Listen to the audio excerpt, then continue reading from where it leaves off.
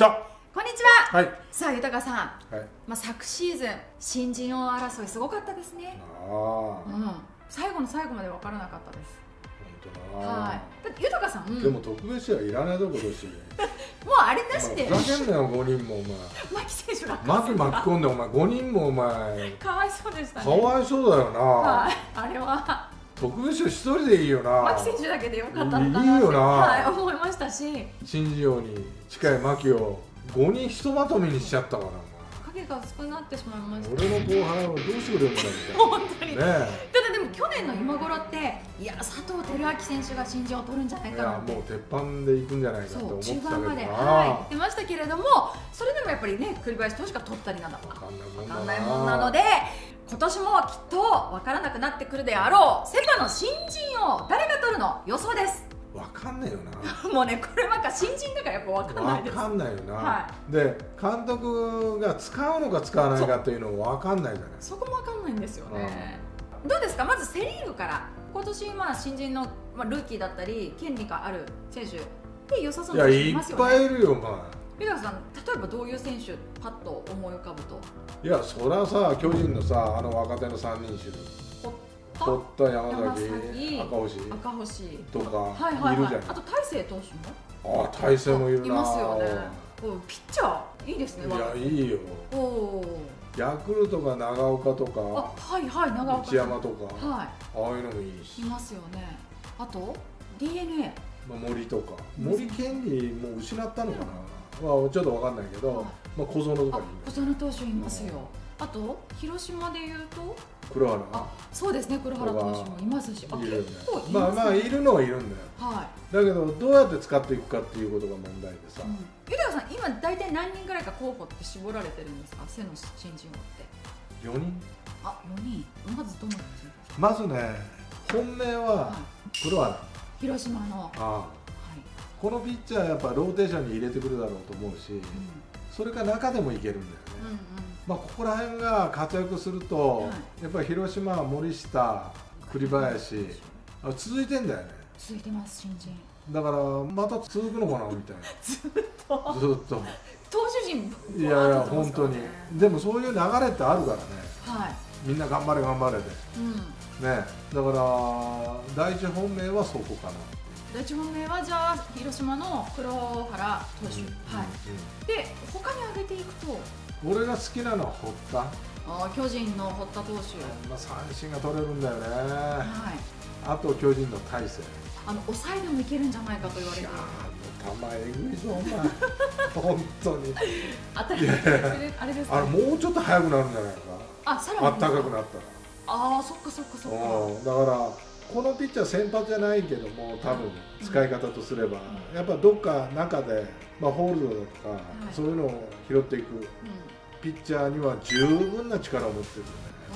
じゃあジャイアンツからその堀田投手と大勢投手。堀田投手がちょっとすごく近いんじゃないかと信じるもうでもう一人は小園、まあ DNA ですもんね。そうですよまあ、遅れて状態が良ければポンポンと勝つんじゃないか。あの先発当たり前やお前。そうですよね。中継ぎで使ったら俺文句言いに行ってお前。俺がマウンドから引きずり下ろしてやる。本当やめろお前中継ぎなんかすんじゃないよって。本当に。えじゃあ先発だと、まあ、今年良ければどのくらいいきそうなんですか？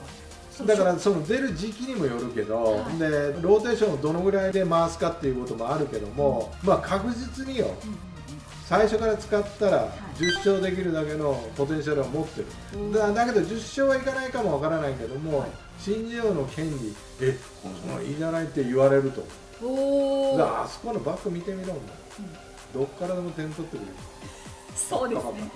それはありがたいですよありがたいよ。恵まれだからてますよね。だから可能性はあると思うよ。じゃあ今のこの4人がセ・リーグの新人王の豊さん的には絡んでくるんじゃないかと、そうまあ、みんなピッチャーですよね、まあ、去年は佐藤そうだな。みんなピッチャーだ。佐藤輝明選手とか牧選手とかバッターいましたけど今今年は新人でまあいることはいるけど鵜飼とかね。ああそうですね。セガネとか。はいはい。いるけども秋ほど打てないと思うよ。牧選手がちょちょっと異常だったというかすごかっただからなんで特別賞で5人がお前。ひとまとめひとまとめにしなきゃいけないのそうですよね野手でなかなかルーキーで取れないですからねそうそうそうそう。そうそうか。そう。まあ、じゃあそれがセ・リーグ中でもじゃあ大本命が黒原投手というだけなんですか？そうだねうん。いいいですか？それで。わかりました、はい。じゃあ続いてパ・リーグですけれども気になってる選手たち、これは隅田でしょまあ、西武のね。はい、で西武の佐藤っていうのもドラフト2位の、はい。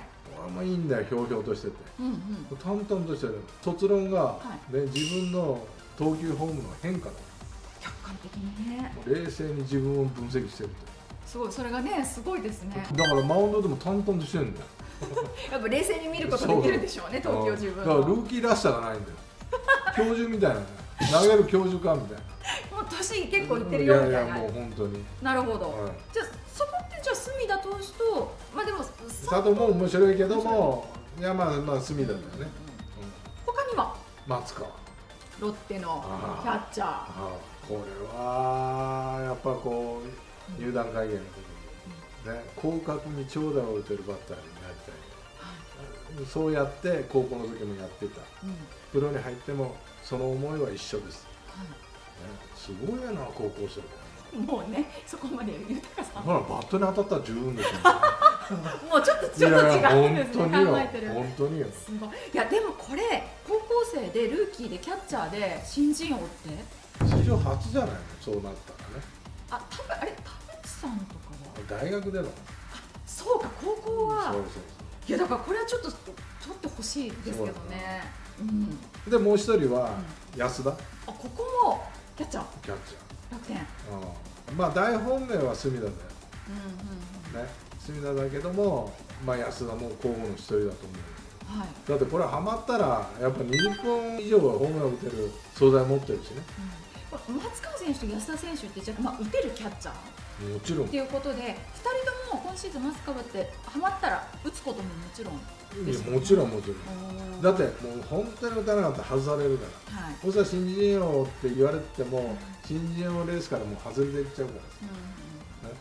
だからまあセ・リーグは黒原。んはい。パ・リーグは隅田。うんでも俺の夢はうん。何だと思まあ小園投手？うと？